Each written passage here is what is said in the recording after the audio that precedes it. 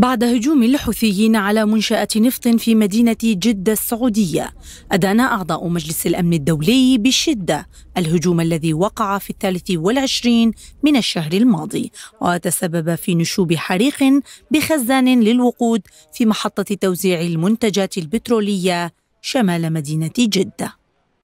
أعضاء مجلس الأمن أكدوا التزامهم بالعملية السياسية الجامعة بقيادة وملكية يمنية وفق ما ورد في قرارات الأمم المتحدة ومجلس التعاون الخليجي. مجلس الأمن دعا أيضا إلى تطبيق اتفاق الرياض وإلى اجتماع الأطراف اليمنية على وجه السرعة برعاية المبعوث الخاص للأمم المتحدة مارتن جريفيث لسد هوة الخلافات حول الإعلان المشترك.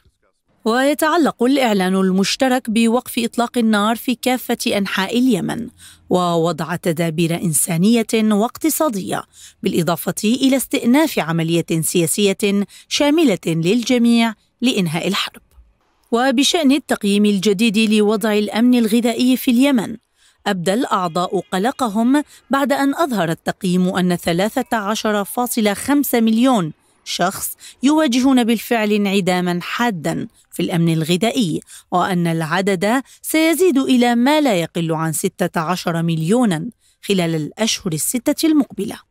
أعضاء المجلس دعوا جميع المانحين في المجتمع الدولي إلى العمل بشكل عاجل وإنقاذ الأرواح من خلال صرف التعهدات غير المسددة قبل نهاية العام وإعلان مساهمات مبكرة في العام القادم لتجنب الإغلاق الوشيك لبرامج الأمن الغذائي في الأمم المتحدة.